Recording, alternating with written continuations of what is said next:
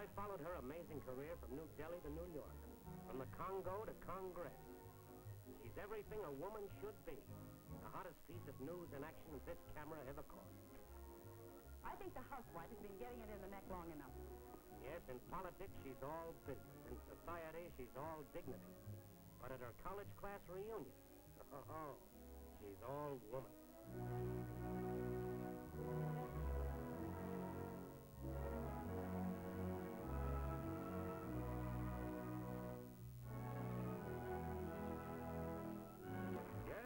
Joan Crawford as a right honorable honey trying to keep her school day past from catching up with her political future.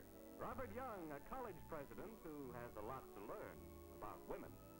Frank Lovejoy covering things for life, love, and the pursuit of Joan. Eve Arden, a secretary who doesn't let her left hand know what her shorthand is writing. And from the cover of Life to exciting screen life, a new star, lovely Janice Rule. Now, what's got into you? Sweetheart, don't try to understand it. Just relax and enjoy it.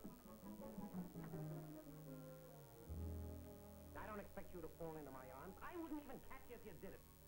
I found out one thing this weekend. I don't like women.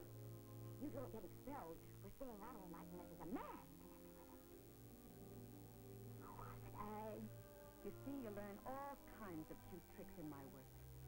You realize, of course, the scandal would end your career, too. I'm perfectly willing to take that chance. You just can't take it, can you, Matt?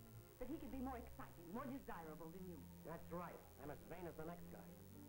Since you've gone into collecting memories, here's another one.